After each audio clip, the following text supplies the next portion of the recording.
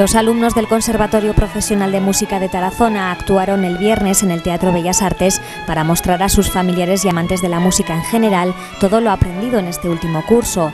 Por el escenario fueron pasando los estudiantes interpretando diferentes piezas con instrumentos variados. El concierto por el final del curso fue un auténtico éxito y todas las actuaciones cosecharon unos entusiastas aplausos.